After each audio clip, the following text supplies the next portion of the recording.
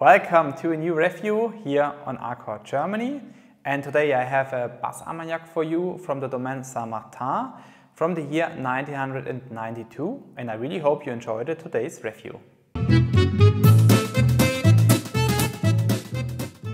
Our today's domain, Saint-Martin, is located in the Bas Armagnac and they have around 65 hectares of vineyards, which they use for their Armagnac and their wine production. They are meanwhile in the fifth generation and they have a little um, specialty there. They have a mobile distiller apparatus, which means um, they can drive with this apparatus to different other domains and distill for these directly on site. And this apparatus is one of the oldest in the Armagnac region, so yeah, a little bit special here. And they have a dry and a wet cellar for their Armagnac storage. So these were the information to the today's domain, Saint-Martin, and now we start with our review. Today's bottling, you will find it here next to me, is in the yeah, classic Le Passeur style. Um, it's for independent bottle Le Passeur and yeah, they have always little same design, same labels. But um, what I really like about these labels is that you will find on the front label and also on the back label a lot of information to the, to the bottling of course, but also to the domain and already some tasting notes from this Armagnac. Wow, a lot of information and I really like that. And the further information to our today's bottling are vintage 1992, bottle 2024. So we have here around 31 years of cask maturation. It's a Bas Armagnac, a single cask with the number 90 and they use the grape Baco for this Armagnac.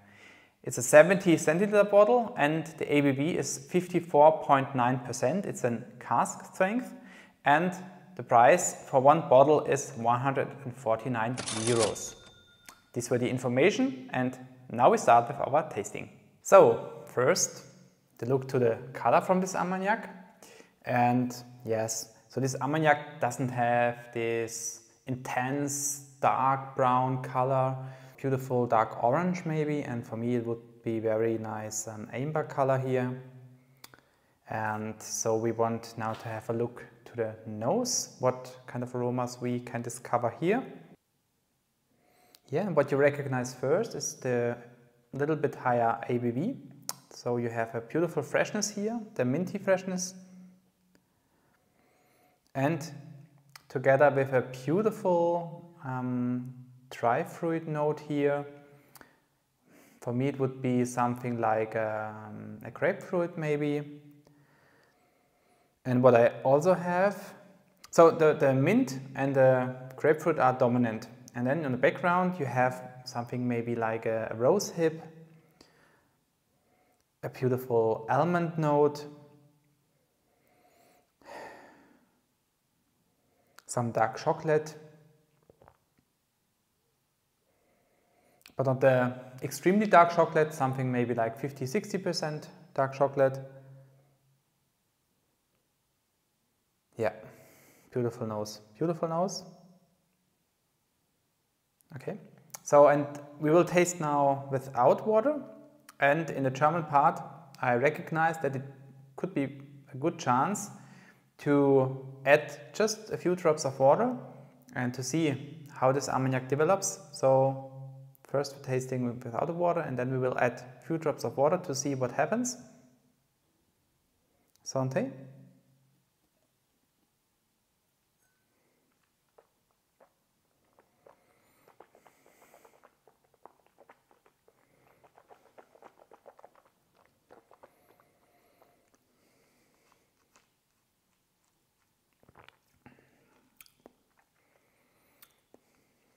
Mm -hmm.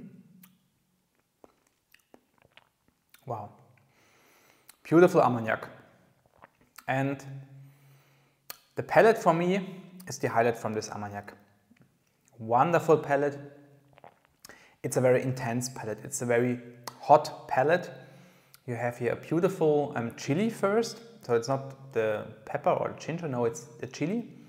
But not disturbing in, at any time. It's such a beautiful chili, um, catch you have here and a beautiful orange. So first maybe even the, the orange and then the chili and then you have some wonderful herbs on the palate, beautiful integrated here. And what I also had a beautiful um, cacao note here. Wonderful. Beautiful palate. Uh, palate is amazing. And then it changes to the finish. And there you have, um, again, a little bit different aromas. So more the intense now. Pepper, very intense pepper. And then it changes from the orange on the palate to the orange marmalade. Some cinnamon, a little bit of cedar wood, Wonderful. But of course, this Armagnac is not on the woody side, so don't misunderstand here something, but a little beautiful cedar wood here. And there's left a beautiful milk coffee note here, latte macchiato. And what is still very present is a beautiful sage. A wonderful sage. Incredible. I've never had this intense sage, the spirit, any kind of spirit before. Wonderful. Very nice. Okay. Um, so maybe first, uh, the conclusion of this um, Armagnac without the water. The nose is on the dry side, on the fresh side, as I mentioned. And then you had, it changes on the palate. It gets sweeter. It gets um, very hot with this beautiful chili. It gets more herbal there. And then in finish, again, you have a little bit different aromas like um, the cinnamon, the cedarwood, a little bit the milk coffee. But of course, you have this orange marmalade, this little sweetness inside, this pepper from the palate, so a little bit um, spices left here from the, from the palate, and this wonderful sage, which is left here. Beautiful. Okay, so we'll add now some drops of water, just a little bit, to see if we have the same aromas, different aromas, what will happen? Mm, just a little bit more maybe. Yeah, that's good. Okay, so let's see.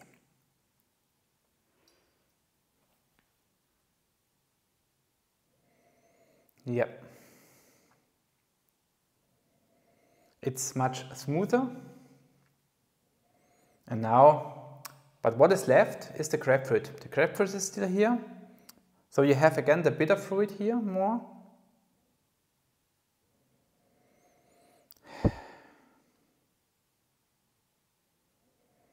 Yeah, the nose is quite similar to that what I had before, but um, just with the the little change that the freshness is more in the background now.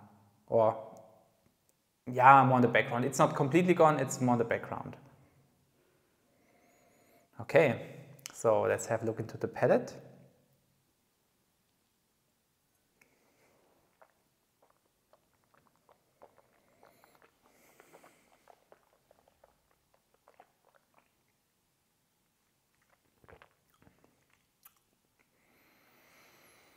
Hmm.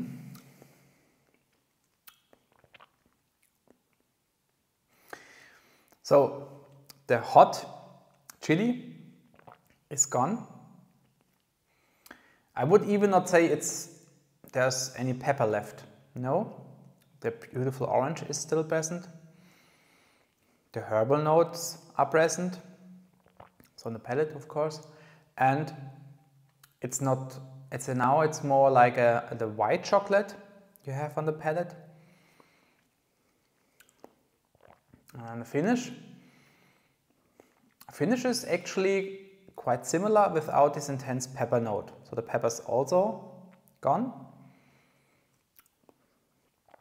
So in the finish I had now a little bit more the a chocolate note, the milk chocolate. Cinnamon was there again. Cedarwood was also again present. And the sage, which I had actually before, a little bit maybe. Milk coffee, the latte macchiato is still there, but the sage is now almost gone. It's now for me it's more like a little licorice left. The sweet licorice. Interesting. Yeah. And um, I think I wouldn't add any water. Um, it's not that it's um, getting worse, much worse than without water, but I preferred it without the water, definitely. I miss now a little bit the, the chili from the palate, the yeah, this intense hot spices um, which it had before. This is something I miss now a little bit. So let's drink it without water. Try it first. Of course, you can still decide if it's too intense for you, you can of course add some drops of water. Maybe a little bit less than what I did. Add maybe just three, four drops first and then see. Of course, it depends how much is in your glass, but um, maybe I added a little bit too much of water. I'm not sure, maybe. Well, okay, point-wise, this Armagnac would receive um, 92 points from me. Beautiful, wonderful result. And uh, of course, it's absolutely recommendation, this Armagnac, um, especially if you like this uh, intense note, this spicy, these chili notes here. If you like a little bit of freshness, really recommendation also for this price. I think it's absolutely fair. And yeah, that's it for today. I really hope you liked the video, the review. And of course, let me know if you had ever the chance to try this Armagnac. What is your experience? Leave a comment if you like. Leave a thumb up if you like. And of course, you can also have a free subscription and the outro. Would be also very happy, of course. That's it for today. Thank you very much for watching. See you next time. Bye bye.